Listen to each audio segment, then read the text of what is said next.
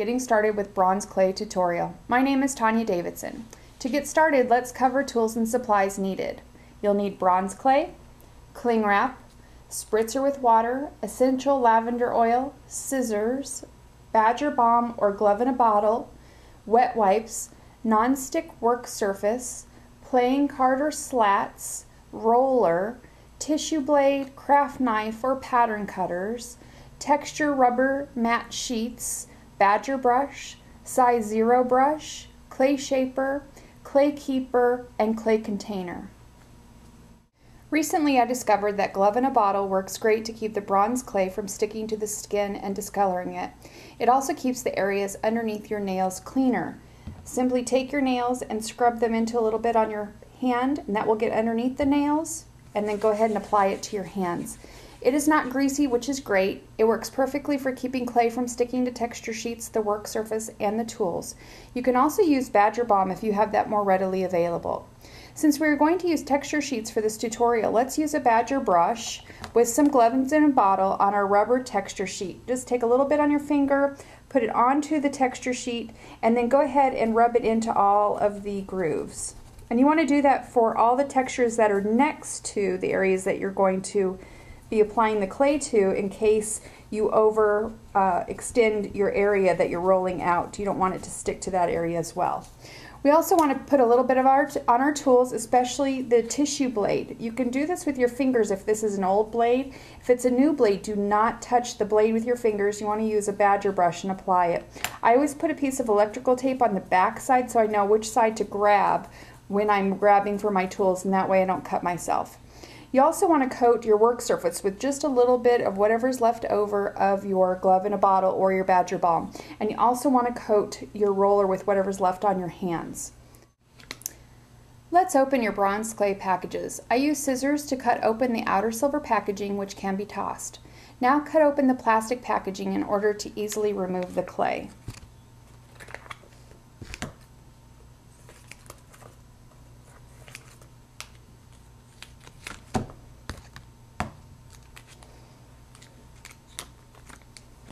You don't want to roll up this clay. What you want to do is fold in the, the corners, the edges, pinch them in. The moisture has receded away from the plastic packaging into the center of the clay, so we need to make the clay homogeneous by pinching the edges and pressing them in. This will even out the moisture. You'll notice that the clay seemed dry on the corners and was cracking, but as we continue to knead it to the center, it's becoming more and more moist.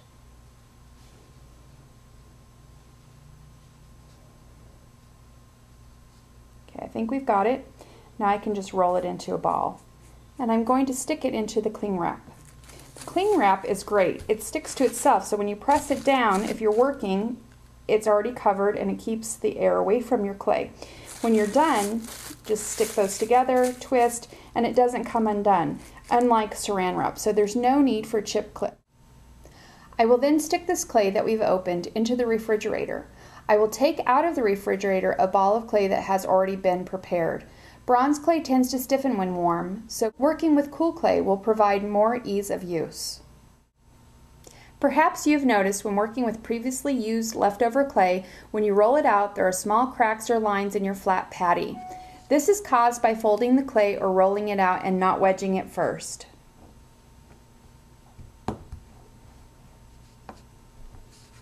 You've trapped air and the clay is not homogeneous throughout. Because bronze clay and PMC art clay doesn't melt, it sinters, those cracks and tiny hairline fractures will remain inside the clay thus leaving our finished pieces with less strength. So let me show you a few tips about wedging your clay. I am right-handed, so my left hand will be my weak hand in this demonstration. We're going to place the ball of clay in our bottom weak hand face up. We will then place our strong hand over the clay in the inner palm. We're going to push and roll our hands together, pressing firmly the clay, rolling it towards the thumb of our bottom hand. This flattens the clay and moves air and hairline cracks caused by folding the clay. By wedging the clay, you're going to remove those cracks from your work. Let's wedge this clay. So stick it in the palm of our hand, press and move out, and that's going to get rid of all the cracks when we roll it out. Wedging is an easy step but well worth the effort. I'm going to roll out my clay and I want to show you how to get a great texture using a rubber texture sheet.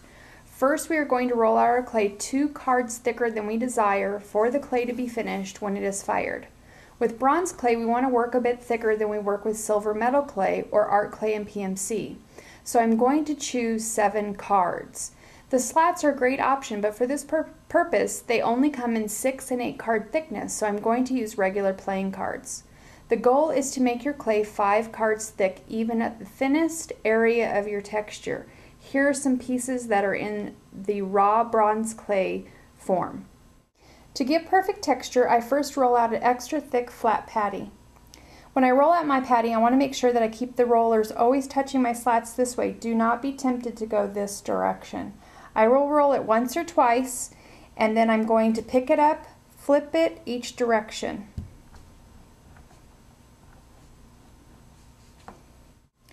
Now I'm ready to roll the patty out on the texture. I recommend buying two to three textures of the same brand when you decide to buy a texture.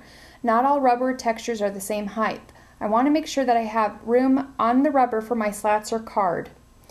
When rolling, start in the middle of the patty and roll away from you and then roll towards you.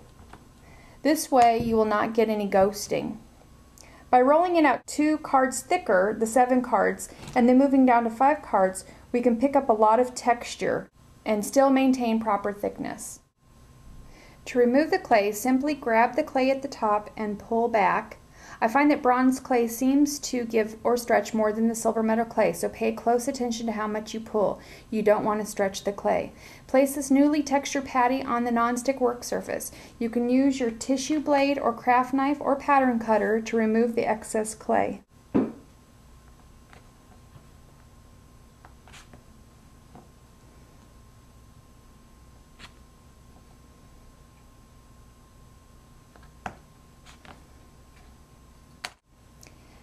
Now you can set it aside to dry. You can drill holes in the clay after it is bone dry. You'll get more pristine hole for both a jump ring and stone by drilling it later. I work in steps. All of my sanding, holes, and connecting with other pieces of clay are done in the leather hard bone dry stage. This allows you to stand and finish between additions to the work. Bronze clay wants to warp when it is drying, so it is wise to flip it and press down occasionally to make sure that it does not warp while it's drying. This will happen in more dry climates than humid climates. I don't recommend hot plates. A dehydrator will work if you are able to set it on the coolest temperature. You'll want to flip it every minute or so. Once I've flipped it twice and it's leather hard, then I'll set it on a piece of Teflon on top of it or something a little heavier. A 4 inch piece of glazed tile works well. Now let's talk about how to store our bronze clay that's left over. We want to take our clay and we want to form it into strips by ripping it and stacking it. And if you have a, a round ball, you just want to flatten it out and add it to this. Then we want to kind of pinch those edges together and press down. That's going to get rid of any air, so we're not folding more air into our clay. Then we're going to flatten it and put it in our cling wrap, and we're going to spray, spritz some water with three drops of lavender oil into it uh, on the clay. And then we can fold those edges in a little bit and if it's really dry, flatten it out again and add another spritz. Then we're going to um, close it all up in the cling wrap. Now you can store it in these if you have those available like that, or you can store it in a clay container. Usually these come with inserts and you put a makeup sponge in it and you put keep this inside of here to keep the moisture inside of like a humidor. But because bronze clay needs to be stored in the refrigerator, we are not going to use the insert or the sponge. We're just going to stick it in our clay container, tighten it up, and stick it in the fridge for the next use.